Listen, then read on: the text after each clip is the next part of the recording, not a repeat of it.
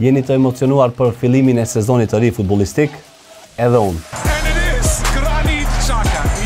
Shqiptarët kanë një arsye për të qëndruar pranë ekraneve televizive më shumë se kurrë dhe më shumë se kushdo tjetër. Nëse më pyet pse, përgjigja është kaq e thjeshtë. Një numër i madh futbollistësh shqiptarë janë në top pesë ligat më të forta evropiane. Ndër futbollistët shqiptarë që e fillojnë këtë sezon si kampion në fuqi janë Granit Xhaka dhe Kristian Asllani. I pari u shpall kampion në Bundesligën gjermane me skuadrën e Bayer Leverkusen, ndërsa i dyti në Serie A të Italisë me Interin. Ndërkohë, tre futbollistët tjerë më të njohur si Vedat Muriqi Majorkë, Armando Broja Chelsea dhe Edon Zhegrova Lille vazhdojnë të luajnë edhe në këtë sezon në tri liga tjera më të forta evropiane, si ajo e Spanjës, Anglisë dhe Francës. Por prisni ta dëgjoni këtë. Numri më i lartë i futbollistëve shqiptarë sa i përket ligave të fuqishme është pikërisht ajo e Superligës turke.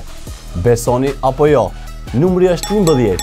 Vetëm imagjinoni, gjithsej 11 futbollistët shqiptarë në Superligë gjatë këtij sezoni janë të mjaftueshëm për një formacion startues të një ekipe, aq sa edhe nevojitet. E po kush janë ata? Milot Rashica dhe Ernest Muçi luajnë për Beshiktash, Enis Bardhi garon me fanellën e Trabzonspor, Rey Manaj luan sezonin e dytë me Sivaspor, Zymer Bytyqi dhe Amar Gërxhaliu mbajnë fanellën Antalyaspor, Altin Zeqiri në Rizespor, Arbnor Muja në Samsunspor, Loret Sadiku në Kasëmpasha, si dhe Fidan Aliti dhe Florent Hadërgjonaj në Alanyaspor. Na thuani skuadrën e juaj favorite për këtë sezon.